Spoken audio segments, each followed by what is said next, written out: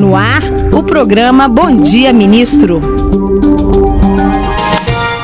Olá, amigos em todo o Brasil. Eu sou Kátia Sartório e começa agora mais uma edição do programa Bom Dia Ministro. O programa tem a coordenação e a produção da Secretaria de Comunicação Social da Presidência da República em parceria com a EBC Serviços. Hoje a nossa convidada é a ministra da Secretaria de Políticas de Promoção da Igualdade Racial, Nilma Lino Gomes, que vai conversar com a gente sobre a caravana Pátria Educadora pela Igualdade Racial e também sobre o debate sobre a maioridade penal. A ministra já está aqui e nós damos para ela um bom dia. Bom dia, ministra, seja bem-vinda. Bom dia, Kátia. Bom dia para toda de, todas as redes de emissoras e também para todos os ouvintes do programa Bom Dia, Ministro. Ministra, já está na linha a Rádio Amazonas FM. A pergunta é de Patrick Mota, lá de Manaus. Olá, Patrick, bom dia para você.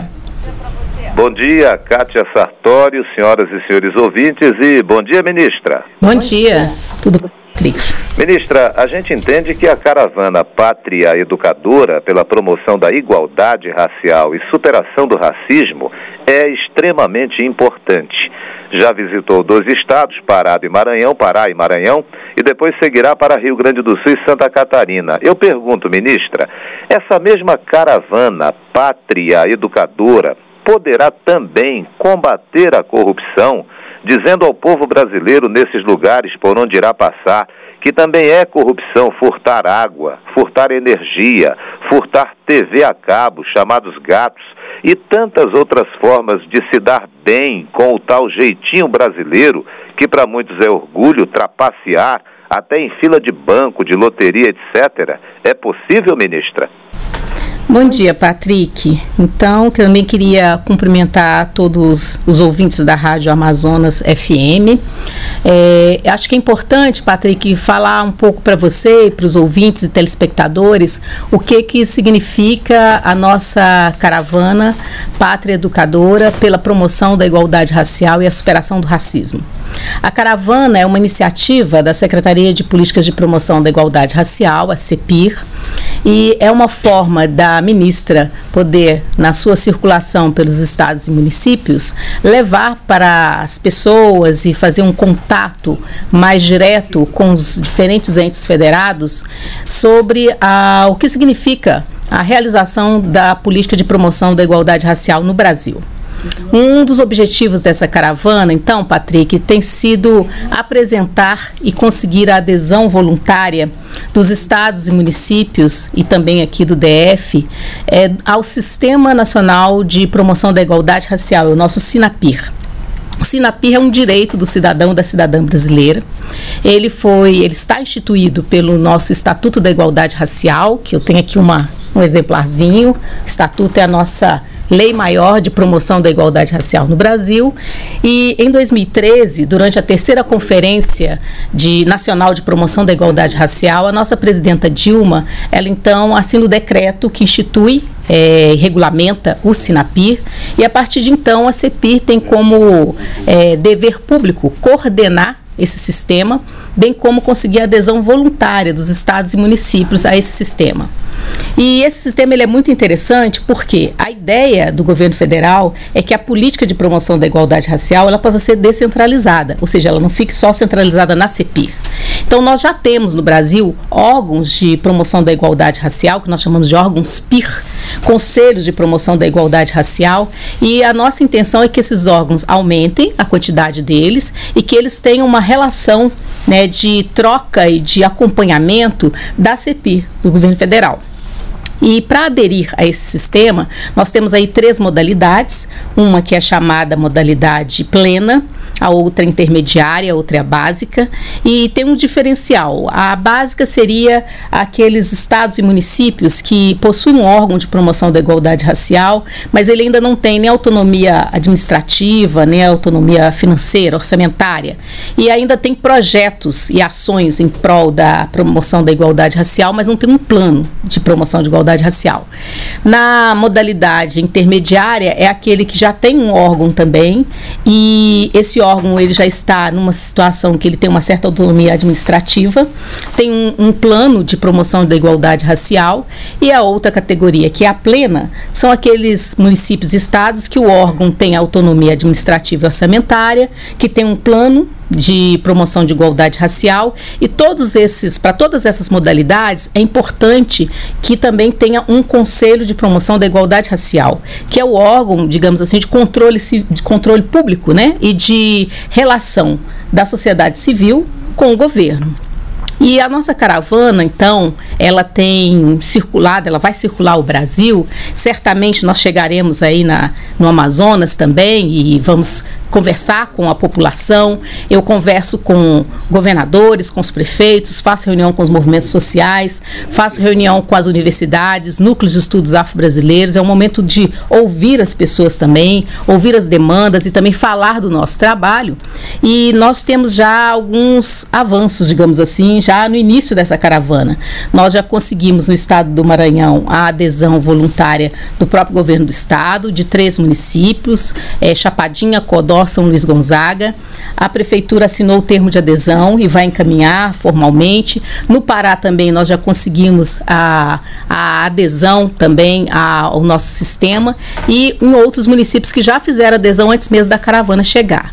Então, Patrick, eu acho que as questões que você coloca, elas são questões de que o próprio fato da CEPIR como órgão do governo federal é, sair pelo Brasil na forma de uma caravana e ouvir as pessoas, ouvir os cidadãos, já significa uma postura do Estado brasileiro no sentido de garantir direitos, e aqui nós estamos falando de direitos, a promoção da igualdade racial, e também de dar espaço para que o cidadão e a cidadã possam interagir com o governo federal, especificamente dentro da nossa pauta. A CEPIR tem uma pauta que é superação do racismo, promoção de igualdade racial, e a nossa caravana tem como objetivo trabalhar essa pauta.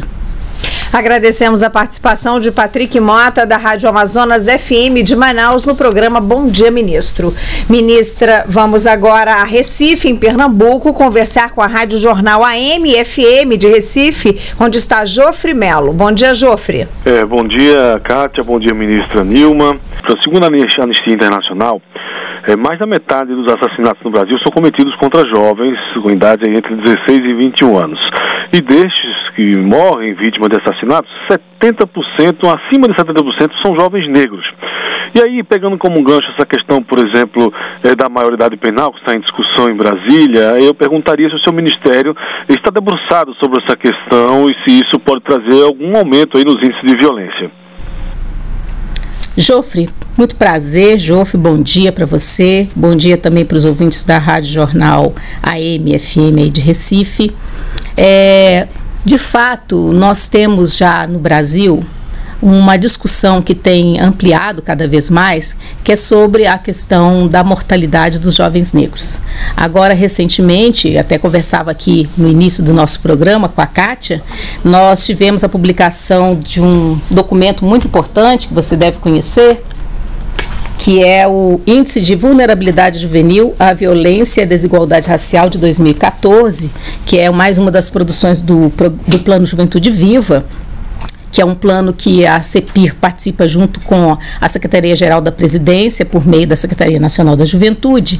E essas pesquisas, elas têm nos mostrado que, ah, desvelado, melhor dizendo, a situação da vulnerabilidade juvenil, da violência, né, que atinge os nossos jovens no Brasil, e dando um destaque para a questão dos jovens negros, das desigualdades raciais e do racismo. O que eu acho que é interessante de colocar, no caso do trabalho que a CEPIR vem fazendo, é que a CEPIR ela vem atuando no sentido de inclusão do quesito raça-cor é, nos itens ligados à vulnerabilidade juvenil. E isso foi muito importante porque, ao desagregar esses dados por raça-cor, desvelou-se então esse dado que você está me falando e que as pesquisas têm mostrado, os estudos, que é o fato dos jovens negros serem proporcion morrerem proporcionalmente muito mais do que os jovens brancos, é, quando nós pensamos as questões do homicídio, da morte letal. E uma outra situação também que eu acho que é importante colocar que é um dos trabalhos da CEPIR, e certamente na nossa caravana é, esse tema virá e nós também teremos encontros, não só com a juventude negra, como também com movimentos sociais que trabalham em prol da superação desse quadro, dessa situação, é que a CEPIR ela vem atuando junto com outros ministérios e trazendo também estudos e pesquisas, Kátia, que têm sido muito interessantes para que a, a própria população brasileira conheça esse quadro e para que a gente possa construir políticas públicas de superação desse quadro. Então, uma das maneiras que nós temos de construção de políticas públicas mais eficazes é conhecendo, através de dados, a realidade social brasileira e os principais problemas que nós enfrentamos. E aí eu queria citar para o Jofre algumas iniciativas e para os outros ouvintes também, os telespectadores, que a CEPI tem desenvolvido, que eu acho que são inclusive dados importantes para que nós possamos nos apropriar mais desse tema e nos engajarmos mais ainda na luta pela superação desse quadro.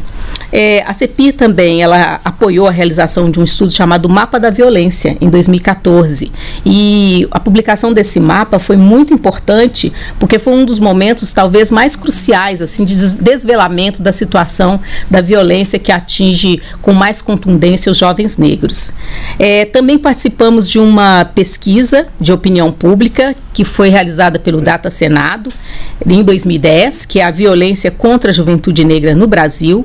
Esse é esse essa publicação é parte de um protocolo de intenções que a CEPIR tem com o Senado Federal e foi realizada no âmbito de uma campanha é, que a CEPIR também desenvolveu chamada Igualdade Racial é para Valer.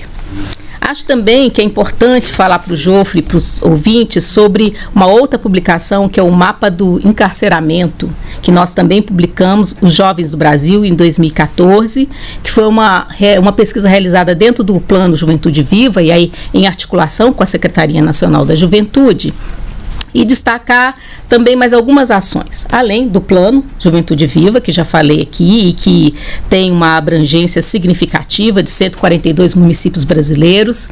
É, também a, a CEPI vem participando da CPI, na Câmara dos Deputados. É a CPI que tem investigado a violência que atinge e assola os jovens negros. Essa CPI tem como presidente o deputado Reginaldo Lopes e como relatora a deputada Regi Rosângela Gomes. E a CPI tem participado não só municiando a comissão de estudos, de dados, como também no debate, acompanhado as audiências públicas. Eu acho que essa é uma iniciativa muito importante, que é rodar o Brasil ouvindo, conhecendo conhecendo, discutindo com os movimentos sociais para pensarmos então as políticas que temos que desenvolver. E então tem uma atuação aí de desvelar o quadro, tem uma atuação com o Plano Juventude Viva, que é pensar junto com estados, municípios e DF, principalmente aqueles com alto índice de mortalidade dos jovens negros, políticas públicas para redução desse quadro e tem todo um debate nacional que nós certamente faremos novas, teremos novas políticas públicas, inclusive o Plano Juventude Viva ele está passando por um processo de reelaboração, reestruturação, para que a gente possa aprimorar as nossas ações. Mas tem uma coisa, finalizando, que eu queria falar com o Jofre, que é a questão da violência que tem incidido sobre a nossa juventude negra, ela precisa de uma articulação da sociedade como um todo. Então, além do governo federal, estados, municípios, DF, população brasileira, porque nós temos também uma questão que é uma representação negativa que recai sobre homens, mulheres negros e principalmente os jovens negros, que muitas vezes são considerados como sujeitos suspeitos, até mesmo pela ação policial. E isso é fruto do racismo que nós ainda temos na nossa sociedade. Então, superar esse estado de coisas é também uma ação importante para que a gente avance nesse quadro da violência contra os jovens negros. Obrigada, Jofre Melo, da Rádio Jornal AM FM de Recife, em Pernambuco, pela participação com a gente no programa Bom Dia Ministro, que recebe hoje a ministra Nilma Lino Gomes, da Secretaria de Políticas de Promoção da Igualdade Racial da Presidência da República. Ministra, vamos agora ao Piauí conversar com a Rádio Cidade Modelo de Picos. A pergunta é de Jonas Rocha. Bom dia, Jonas. Bom dia, bom dia, ministra. A minha pergunta é o seguinte: a gente sabe que o governo federal tem muitos projetos, muitos recursos destinados à área da igualdade é, racial, mas muitas instituições que trabalham nesse setor, eles têm dificuldades de elaborar projetos. A, a Secretaria de Polícia de Promoção da Igualdade tem alguma iniciativa para qualificar essas pessoas, esses agentes, para que eles possam estar elaborando, estarem elaborando projetos para conseguirem recursos? Bom dia, Jonas, e também bom dia para todos os ouvintes da Rádio Cidade Modelo, Picos, aí no Piauí. É, conforme nós já temos discutido dentro da CEPIR, é importante destacar a importância do SINAPIR, que é o Sistema Nacional de Promoção da Igualdade Racial. Esse sistema, Jofre, ele pretende criar uma sinergia entre os estados, os municípios, o DF e o governo federal, no caso, a União, para elaboração e para fortalecimento das políticas de promoção de igualdade racial, fortalecendo os órgãos PIR, pela adesão dos estados e municípios. E dentro desse sistema, a CEPIR, ela fará as chamadas públicas. Nessas chamadas públicas, os estados, os municípios e organizações elas podem concorrer com projetos e dentro desses projetos nós temos aí uh, pode ter a possibilidade, inclusive dentro da ideia de fortalecimento dos órgãos de promoção da igualdade racial, a formação de gestores de promoção da igualdade racial. Então, um estado e um município ele pode solicitar via um projeto né, essa formação como um fortalecimento do órgão PIR. Esse projeto sendo aprovado e tendo esse estado e município aderido ao SINAPIR, eles terão uma pontuação adicional na classificação final. Né, o projeto sendo aprovado, ele terá uma pontuação adicional de acordo com a modalidade de adesão ao SINAPIR. E também a CEPI já vem discutindo, dentro da nossa Secretaria de Políticas de Ações Afirmativas, tentando encontrar mais parceiros para que a gente possa aprimorar e ajudar os órgãos de promoção da igualdade racial na elaboração de projetos, na formação dos gestores. Estamos pensando uma, um encontro nacional dos conselhos de promoção de igualdade racial. Então, faz parte do Sinapir esse processo de formação e nós vamos aprimorá-lo e desenvolvê-lo em parceria com os estados e municípios. Jonas Rocha, da cidade de Picos, no Piauí, da Rádio Cidade Modelo. Você tem outra pergunta?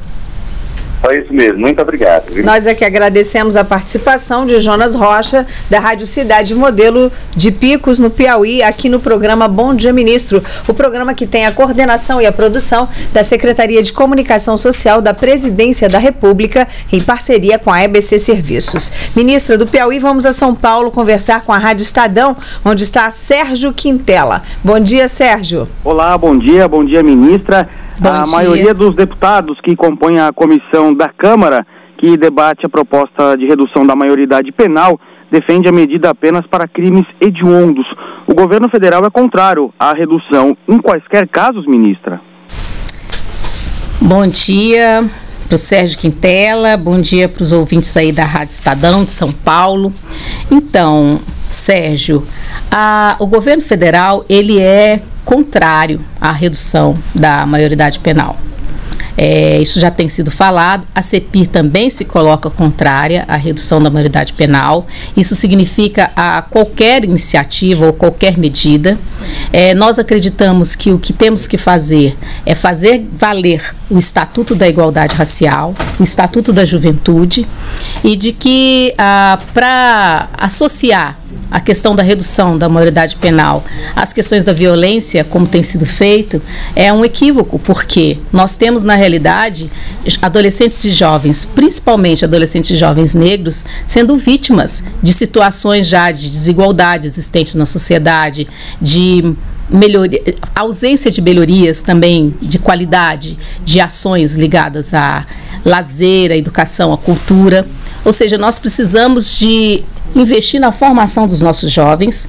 Nós já temos medidas socioeducativas que são aplicadas para os jovens que cometem infrações e tem uma série de medidas e achamos que a sociedade brasileira deve proteger os seus jovens e não expor seus jovens e adolescentes a uma situação de criminalização.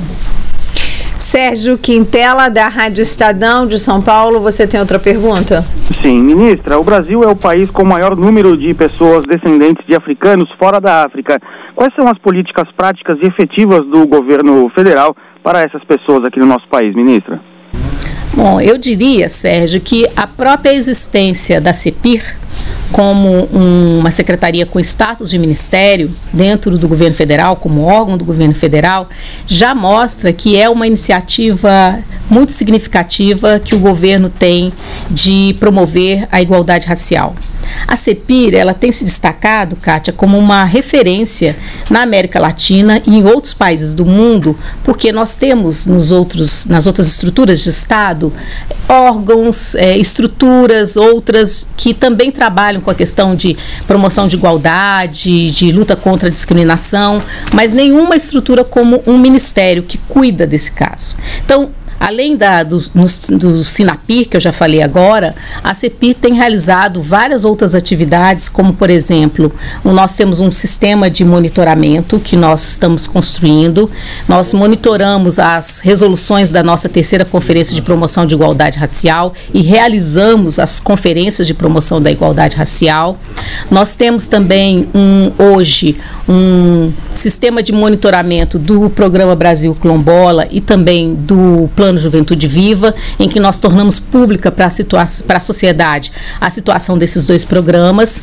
Nós também temos realizado, junto com o nosso Conselho Nacional de Promoção de Igualdade Racial, um debate com a sociedade civil sobre as questões ligadas à promoção de igualdade racial e estimulado a formação de órgãos de promoção de igualdade racial nos estados, municípios e DF. Nós já temos algumas estruturas já nos estados, municípios e DF e além disso tem as nossas chamadas públicas, que são formas de nós, como orçamento do governo federal, é, repassarmos recursos né, para projetos que são aprovados dentro dessas chamadas públicas, que visam também superar desigualdade racial. Além disso, eu diria, Sérgio, que a CEPI tem tornado mais institucional o debate sobre a superação do racismo no Brasil. E isso é muito importante. Além de atuar na educação, com o Ministério da Educação, com a implementação da Lei 10639, a participado da do debate depois da, da resolução final em relação à lei que institui cotas para negros nos concursos públicos,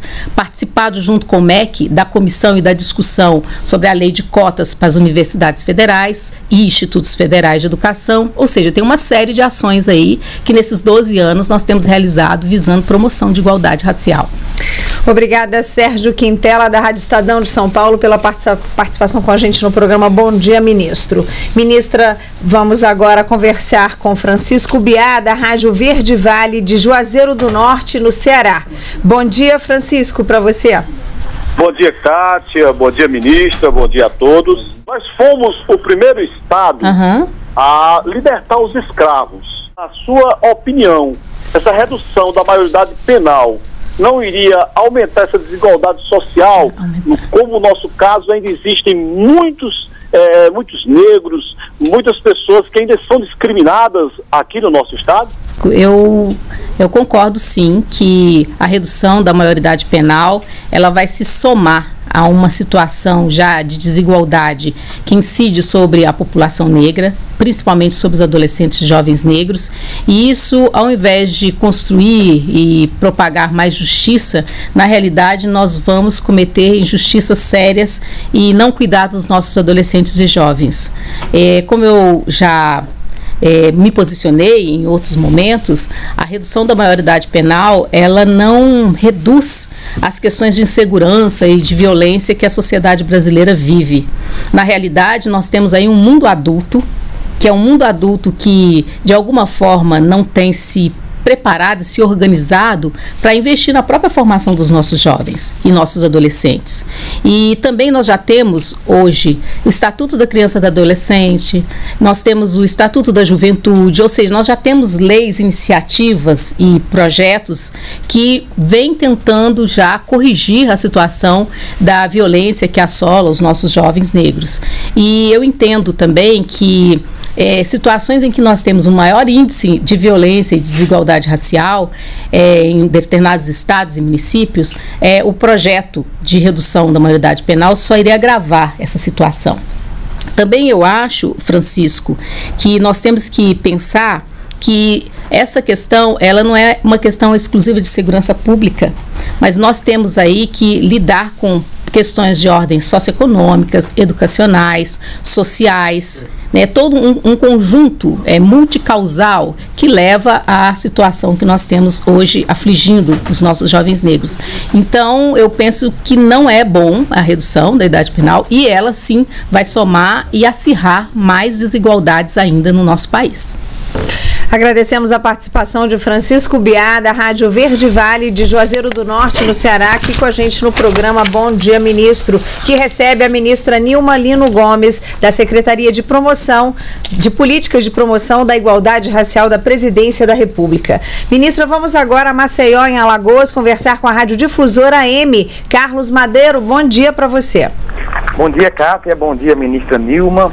É uma satisfação participar mais uma vez do programa. Eu queria fazer uma pergunta à ministra, é, que recentemente saiu até uma pesquisa falando sobre a, a condição do jovem negro, principalmente aqui no Nordeste, a diferença dos assassinatos em números de negros para os brancos. Chega a ser o dobro de chance de ser mais chance de ser mais de ser assassinado, chega a ser o dobro para um jovem negro de um jovem branco estados como Alagoas, Paraíba e Ceará se destacaram, inclusive, por esses dados negativos.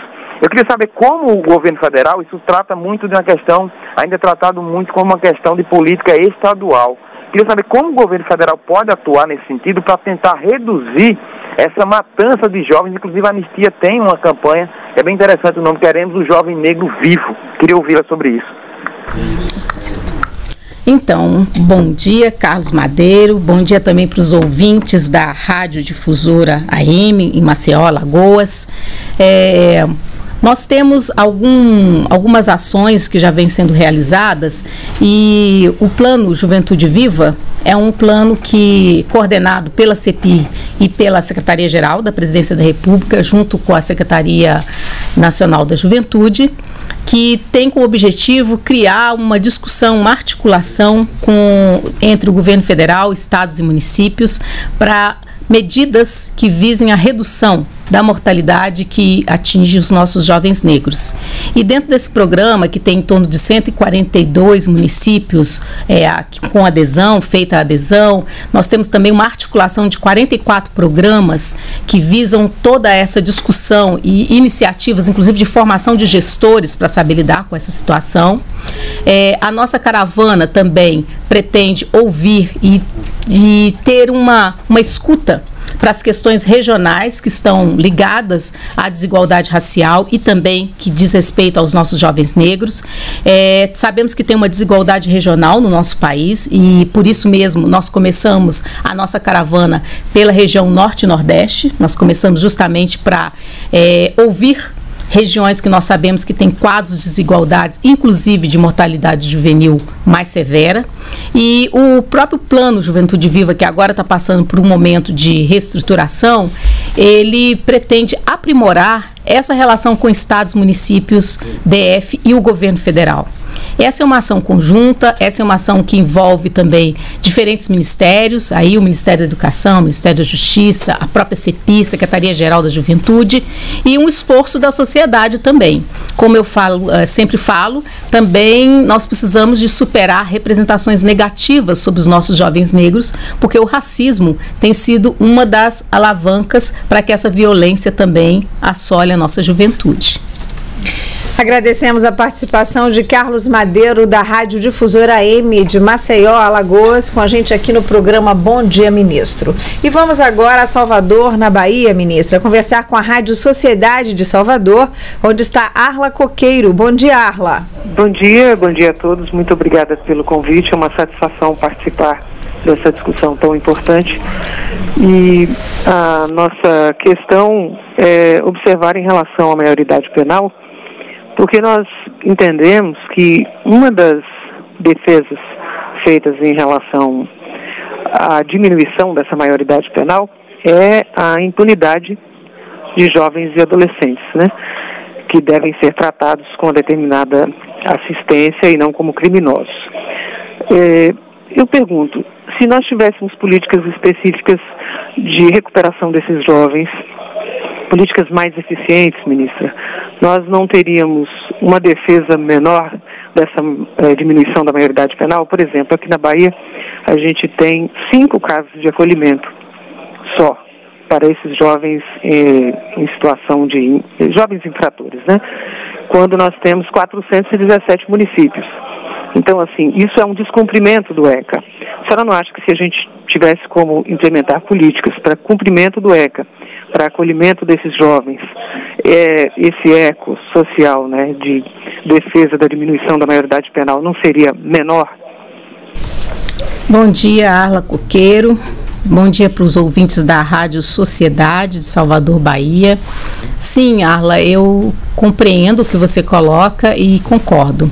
Eu penso que a a implementação do ECA na sua plenitude, o incremento das medidas socioeducativas que tem como objetivo ressocialização e formação dos nossos adolescentes e jovens, é, esse é, digamos assim, seria é o passo ideal e é a ação ideal numa sociedade democrática e não a criminalização dos seus adolescentes e jovens. Eu concordo também que nós temos que aprimorar essas políticas e nós temos também também que fazer valer não somente o ECA, mas também o Estatuto da Juventude, e precisamos de uma ação coordenada e conjunta é, de todos os entes federados na situação, nesse agravamento dessa situação do, dos homicídios que atingem mais jovens negros e também da violência de um modo geral que tem atingido esses jovens negros. Eu acho que nós temos que compreender que esses adolescentes jovens negros, eles não são os produtores da violência, mas eles são vítimas da violência. E uma sociedade democrática é uma sociedade que cuida da vida dos seus jovens, é uma sociedade que investe na formação dos seus jovens. Então, nós temos que caminhar ainda muito no Brasil para que esses direitos sejam garantidos. E acho que o nosso momento como sociedade brasileira é garantir direitos e não criminalizar. Arla Coqueiro, da Rádio Sociedade de Salvador, na Bahia. Você tem outra pergunta? Não, é, eu fico muito satisfeita com essa discussão porque eu considero que seja importante não desprezar a, a opinião contrária. Por exemplo, quem é a favor da diminuição da maioridade penal precisa considerar os incômodos vividos é, de forma geral no assunto e não apenas a gente fazer, de certa forma, um, é, polarizar a questão. E eu acho muito importante essa discussão e está de parabéns aí a Secretaria da Presidência por promover essa discussão. Eu agradeço aí pela participação e pelo convite. Nós é que agradecemos a participação de Arla Coqueiro, da Rádio Sociedade de Salvador, aqui com a gente no programa Bom Dia Ministro. Lembrando que a íntegra dessa entrevista está no nosso site em www.servicos.ebc.com.br. Ministra, vamos agora a Cruzeiro do Sul, no Acre, conversar com a Rádio Verdes Florestas. Quem faz a pergunta é o Paulo Amorim. Bom dia, Paulo. Bom dia, apresentadores. Bom dia, a ministra. Eu gostaria de saber, ministra, sendo aprovada a redução da maioridade penal, é, a senhora acha que não seria o caso de se investir mais em educação, em vez de a gente estar lutando para aprovar a redução da maioridade penal? O caso, para se resolver esse problema envolvendo menores, não seria o caso de investir mais na educação, na prevenção desses jovens, ministra? Bom dia, Paulo. Tudo bem? Paula Morim. Bom dia para os ouvintes da rádio Verdes Floresta, Cruzeiro do Sul, no Acre. Paulo, eu, eu diria para você que eu não gosto nem de pensar nessa hipótese. Eu não gosto nem de pensar na hipótese de passar a redução da maioridade penal. Eu acredito que a sociedade brasileira e acredito que o nosso Congresso tomará uma medida certa, uma medida equilibrada, é, ponderará sobre os diferentes fatores que envolvem esse tema e nós não teremos que lidar com essa situação no Brasil. Então, eu, eu, não gostaria nesse momento nem de pensar na possibilidade disso acontecer, porque nós já temos mostrado, a sociedade civil tem se organizado, plenárias têm acontecido, é, posicionamentos da CNBB, das Nações Unidas, do Brasil, a própria CEPIR, o governo federal, movimentos sociais, os conselhos né, Conanda, Conjuve, o próprio CNPIR da nossa CEPIR, tem se posicionado mostrando como que essa medida vai ser extremamente negativa para o nosso país, como ao invés de é, superar violência, nós vamos aumentar violência, como nós vamos trabalhar com encarceramento e não com educação, e não com cultura, e não com promoção de igualdade. Então, eu diria para você que eu espero que a sociedade brasileira mostre para a sociedade internacional que isso nós não faremos no Brasil. Paula Morim, da Rádio Verdes Florestas de Cruzeiro do Sul, você tem outra pergunta? Ok, eu gostaria de fazer mais um questionamento, ministra. É, vamos pensar, caso sendo aprovada essa redução da maioridade penal, esses jovens iriam ser é, presos juntamente com presos perigosos e tudo. E, e, esses jovens não iriam se recuperar naquele local. Eles iriam sair mais perigosos do que o crime que eles cometeram. Então seria o caso de se criar penitenciárias adequadas para esses jovens. Bom, Paulo, é, como eu estava falando, eu não quero pensar nessa aprovação, mas o que tem se colocado no horizonte tem, não tem sido isso que você está tá falando, está falando conosco, como construção de outras penitenciárias. Acho que o debate nem chegou até aí. Até então, o debate tem sido de que esses jovens vão para o sistema penitenciário que aí está. E nós não precisamos nem dizer aqui o quanto a sociedade brasileira e todos os, os envolvidos na questão da superação de desigualdades têm apontado como que nós ainda precisamos melhorar e muito o nosso sistema prisional. Então, esses, esses adolescentes e jovens que estão no momento de receber formação, orientação, ter direito à educação, ter direito ao lazer e à cultura, é, estão sendo tratados como perigosos, como criminosos. E eu acho que não é assim. Eu acho que nós temos que pensar é como nós, sociedade brasileira, temos que contribuir participar na formação da nossa juventude, construir condições igualitárias para que esses adolescentes e jovens não sejam expostos a situações de tremendas desigualdades, como têm sido expostos, inclusive situações de contato com crime, com crime organizado, e como a nossa própria presidenta Dilma falou, se temos que ter medidas mais duras, que sejam com os adultos que têm levado os nossos adolescentes e jovens para esse caminho, e não contra os adolescentes e jovens que precisam sim da nossa orientação como sociedade. De forma alguma, eu descarto o que significa o medo das pessoas, descarto o sentimento de pessoas que já foram vítimas de situações como essa, mas é importante relembrar que nós temos um dado que 0,5 95% desses homicídios que todos têm falado e têm alardeado são cometidos por adolescentes. A maioria dos homicídios que acontecem no Brasil são cometidos por adultos. E para os adultos nós já temos leis e um sistema prisional que também precisa avançar no sentido da ressocialização. Isso são questões da nossa sociedade que nós temos que enfrentar com maturidade e não com criminalização. Volto a insistir. Agradecemos a participação de Paulo Amorim, da Rádio Verdes Florestas de Cruzeiro do Sul, no Acre, aqui no programa Bom Dia Ministro. Ministra, vamos agora a Marabá, no Pará, conversar com a Rádio Clube de Marabá, onde está Zeca Moreno. Olá, Zeca, bom dia. Bom dia. Bom dia, ministra Nilma Lino Gomes. É uma satisfação participar aqui de Marabá, no Pará. E a primeira pergunta, o meu primeiro questionamento é que o Pará aparece como sétimo estado em risco de morte para os jovens negros, né? A cidade de Altamira, onde tem lá o projeto Belo Monte, Marabá e também para Alpebas, né?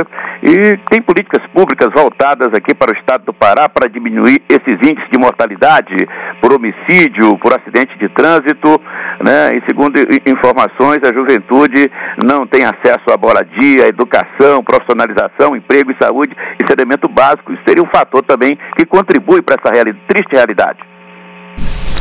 Bom dia, Zeca Moreno. Bom dia para os nossos ouvintes aí da Rádio Clube de Marabá.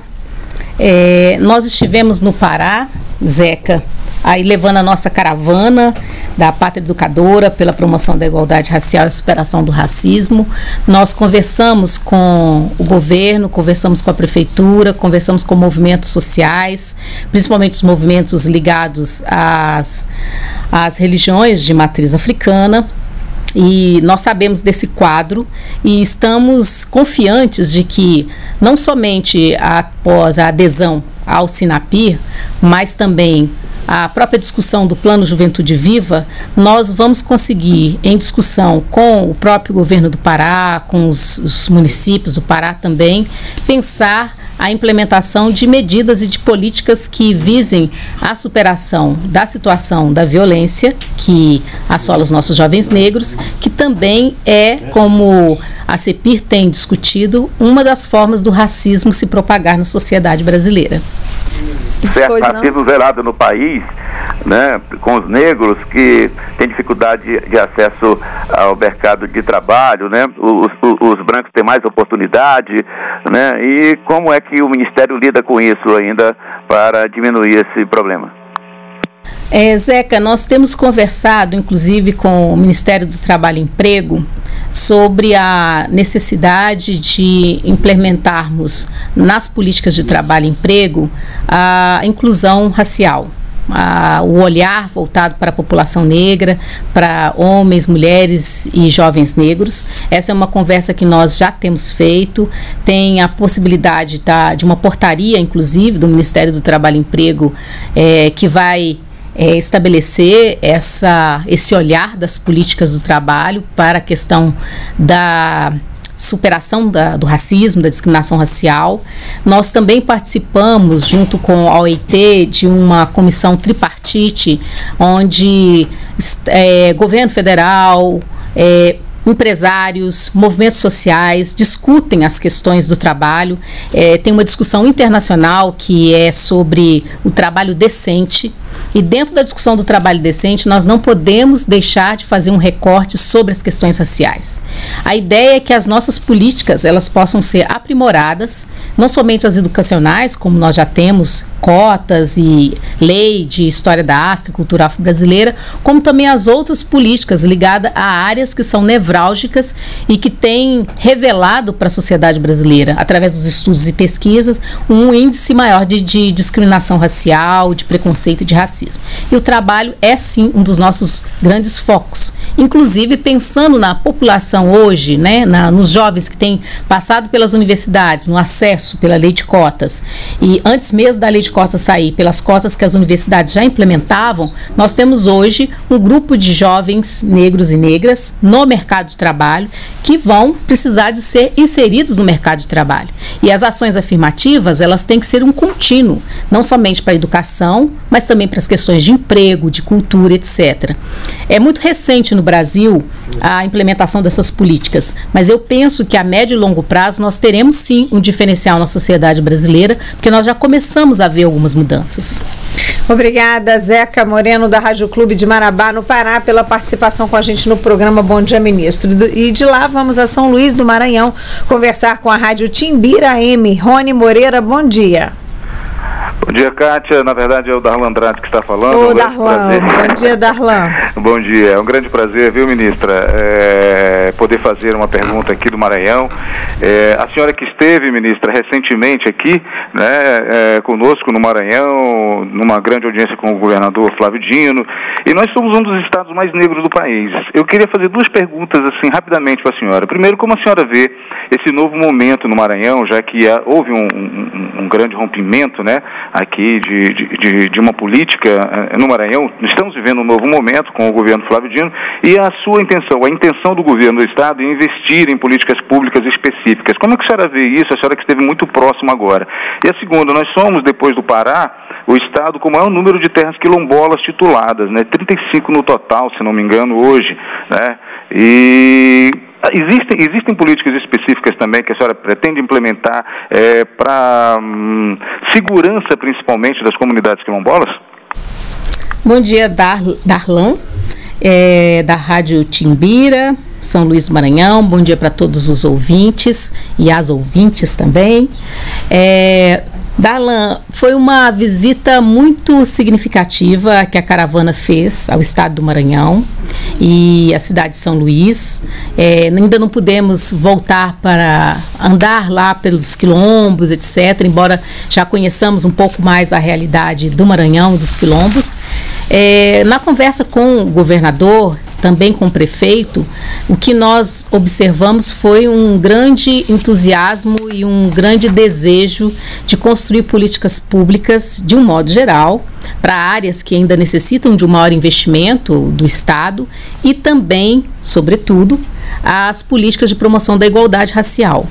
Na conversa que nós tivemos com, com os gestores públicos, no caso o governo do Maranhão, e foi falado, inclusive, no dia da assinatura do, da adesão do Sinapir, do Estado do Maranhão, o Estado do Maranhão aderiu ao nosso Sistema Nacional de Promoção da Igualdade Racial, o que vai possibilitar também uma, um diálogo mais estreito entre a CEPIR e o governo do Maranhão, e também com as prefeituras locais. O, o governador ele falou de, da intenção dele de investir nas questões ligadas à juventude negra, que nós sabemos também das implicações que tem, e também da construção de um programa chamado Maranhão Quilombola, que, inspirado no Brasil Quilombola, vai pensar e atuar mais diretamente é, em relação à situação das, das comunidades quilombolas do Maranhão. Então, essa é uma, é uma questão que eu acho que é importante. Nós tivemos também três municípios que fizeram adesão ao nosso sistema, que é Codó, Chapadinha e São Luís Gonzaga. Tivemos no Maranhão também a adesão é, a assinatura do termo de adesão da Prefeitura de São Luís. Ou seja, eu penso, Darlan, que a partir de agora a CEPI vai poder trabalhar muito mais perto com o governo do Maranhão.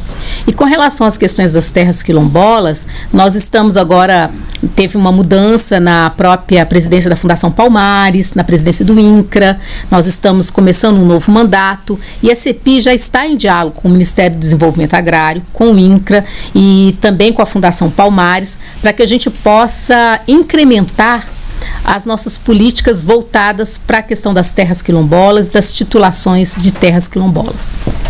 Obrigada, Darlan Andrade, da Rádio Timbira M de São Luís do Maranhão, pela participação com a gente no programa Bom Dia Ministro, que recebe hoje a ministra Nilma Lino Gomes, da Secretaria de Políticas de Promoção da Igualdade Racial. Ministra, vamos agora a Porto Alegre, no Rio Grande do Sul, falar com Jaques Machado, da Rádio Gaúcha M. Olá, Jaques, bom dia. Olá, bom dia, ministra, bom dia a todos. Primeiro, sobre a maioridade penal, um assunto que, a gente, que eu queria perguntar. A senhora ministra chegou a conversar com a presidenta Dilma, que já se posicionou contra esse projeto, se será o seu ministério responsável por trabalhar essa ação, essas questões com a sociedade, visto que, segundo uma pesquisa do Datafolha, 87% da população brasileira é a favor da questão da maioridade. De que forma vão se trabalhar isso com a sociedade brasileira? E também quando é que a caravana vem ao Rio Grande do Sul aí, se daqui a pouco a caravana pode ser uma forma de trabalhar esse assunto também. Bom dia, Jacques. E bom dia também para todas as ouvintes e os ouvintes da Rádio Gaúcha, AM, Porto Alegre. A nossa caravana, é, os dois outros estados que nós iremos é Porto Alegre e também Santa Catarina, não é isso?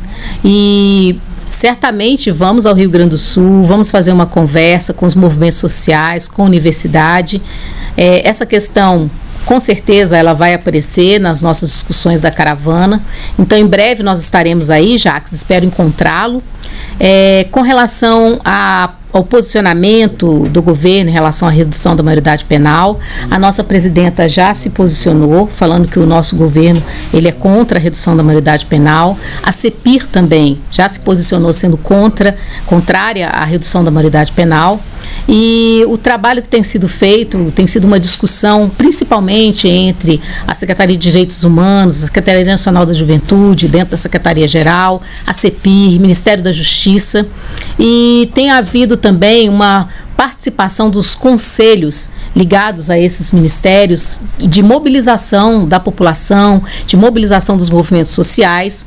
Nós tivemos no dia 5 de maio, o dia todo aqui em Brasília, uma plenária dos movimentos sociais, dos conselhos. Aí estavam os conselhos ligados à questão da criança e do adolescente, os, o Conselho da Juventude e o nosso Conselho Nacional de Promoção da Igualdade Racial, que fizeram um grande debate, uma grande discussão com representantes do Brasil todo todo se posicionando em relação à redução da maioridade penal e com o, um argumento coeso de que essa não é a melhor solução para as questões de violência no Brasil, de que os nossos adolescentes e jovens eles precisam ser formados, cuidados, de que as infrações elas têm que passar por medidas socioeducativas, que nós temos é que fortalecer o Estatuto da Criança e da Juventude, da Criança e do Adolescente, melhor dizendo, e o nosso Estatuto da Juventude, e aprimorar essas políticas ao invés de criminalizar os nossos adolescentes e jovens. Agradecemos a participação de Jaques Machado, da Rádio Gaúcha M de Porto Alegre, aqui no programa Bom Dia Ministro. Eu queria aproveitar, ministro, e conversar com a senhora sobre a década internacional de afrodescendentes, que começou agora, né? E tem a proposta de aumentar a conscientização da sociedade, do mundo todo, né? Quanto ao combate ao preconceito, à xenofobia e também ao racismo. A minha pergunta é: o que a CEPIR, como uma das coordenadoras dessa década internacional aqui no Brasil, vai promover nesse primeiro ano dentro desses temas? Então, Kátia, a década ela foi estabelecida pela ONU o ano passado, em 2014, e ela começa agora no ano de 2015. É, a CEPIR participou das discussões internacionais para a própria elaboração do plano, do programa de atividades da década. Esse programa ele tem algumas ações em nível nacional, com três eixos, que é o reconhecimento, a justiça e o desenvolvimento, são três eixos. Também em nível regional e internacional, a, a década do afrodescendente prevê uma relação de cooperação, maior cooperação entre os países, principalmente aqueles com maior índice de população negra, dentro dessa diáspora negra, é, relações bilaterais. E a CEPIR ela tem participado não somente das discussões, como também ela foi muito importante na construção de uma reunião que nós fizemos aqui através de um seminário que nós tivemos aqui nos dias 7 e 8, que é um seminário sobre pensar os afrodescendentes é, no Mercosul. A CEPI vem acompanhando, junto com outros países, todas as discussões do Mercosul ligadas às áreas das questões sociais, das questões de diminuição das desigualdades, e foi proposta, então, atendendo inclusive um compromisso da nossa presidenta, quando ela assumiu a presidência pro tempore do Mercosul, de que o Brasil iria, então, conduzir e coordenar a reunião de autoridades sobre os afrodescendentes no Mercosul. É, esse compromisso que a presidenta fez também foi assumido por nós. A CEPIR, junto com os outros países é, latino-americanos, liderou essa discussão.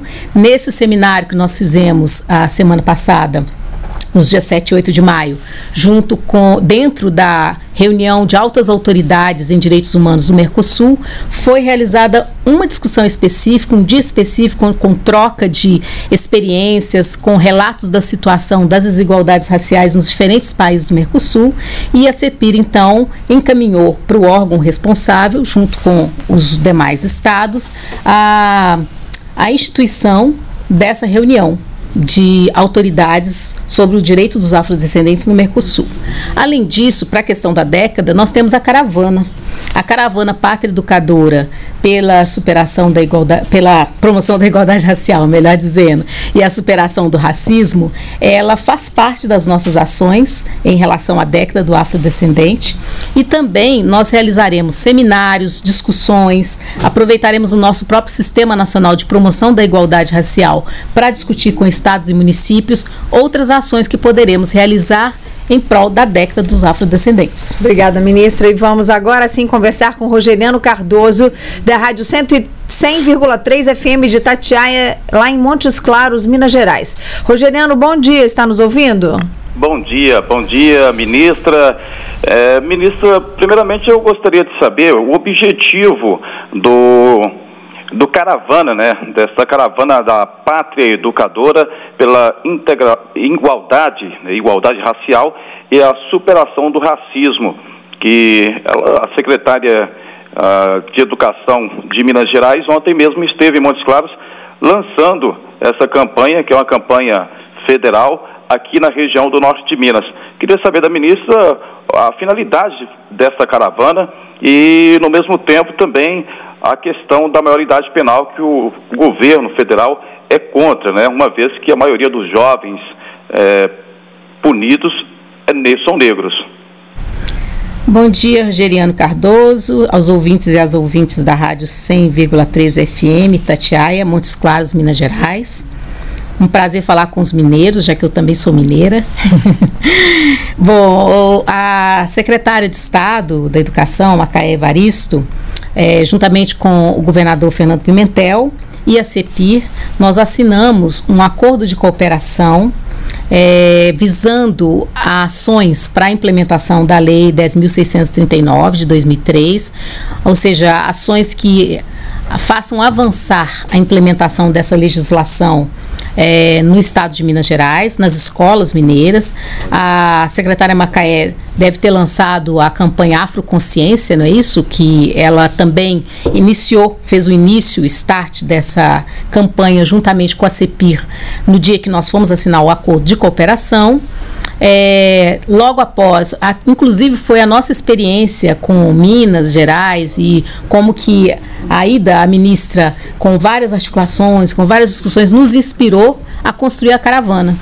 Então a caravana Pátria Educadora pela promoção da igualdade racial e superação do racismo é uma iniciativa da CEPIR que visa não somente construir uma, uma sinergia do governo federal com estados, municípios e DF, na construção de políticas de promoção da igualdade racial, como também apresentar e discutir a adesão dos estados e municípios, eh, Rogeriano, ao nosso Sistema Nacional de Promoção da Igualdade Racial, o SINAPIR. Essa é uma forma como a política de promoção da igualdade racial ela será descentralizada do governo federal, terá o apoio da CEPIR, mas os órgãos de promoção da igualdade racial, por meio da adesão dos estados e municípios ao nosso sistema, eles terão possibilidades de, ao concorrer nas nossas chamadas públicas, os municípios que tiverem feito a adesão ao nosso sistema poderão, na, na classificação final dos seus projetos, ter uma pontuação adicional de acordo com a forma e organização da estrutura dos órgãos de promoção de igualdade racial. Então, o objetivo é fortalecer os órgãos de promoção de igualdade racial, os conselhos de promoção da igualdade racial e as demais políticas em torno desse tema. É, numa parceria entre a CEPIR, como governo federal, e os estados e os municípios. Então, a caravana ela tem como esses objetivos e também uma escuta da ministra. É, nesse momento eu discuto com os movimentos sociais, eu os escuto, ouço as principais reivindicações, eu converso com a universidade, com núcleos de estudos afro-brasileiros, com o governador, com o prefeito. E Minas Gerais, a prefeitura de Belo Horizonte, o município de Belo Horizonte já fez adesão ao Sinapir e o governo do estado está em processo também e breve eu deverei voltar a Minas para assinar juntamente com o o governo do estado de Minas a nossa adesão ao Sinapir.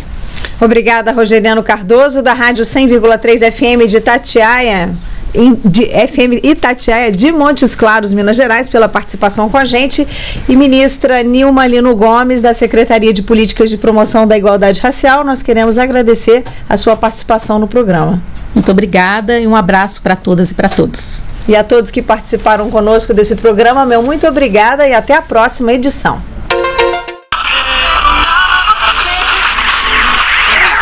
Música